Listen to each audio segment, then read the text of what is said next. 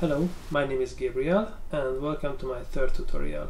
In this tutorial I will show you how I made this meteor effect.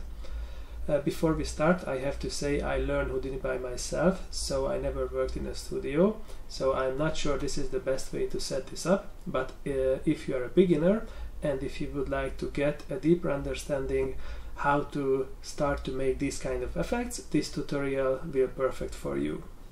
I will cover many kind of parts like how to set up the meteor, how to drive the breaking parts uh, by a velocity field, how to disintegrate the, uh, the breaking parts, which basically uh, randomly deleting primitives. So this will be the disintegration. So don't expect a very high quality disintegration then I set up the particle simulations where the particles will flow along the meteor surface then I turn the particle simulation into into a volume to get uh, a fiery look then I set up pyro simulations and smoke simulations and I set up lights, geometry lights and many many kind of things.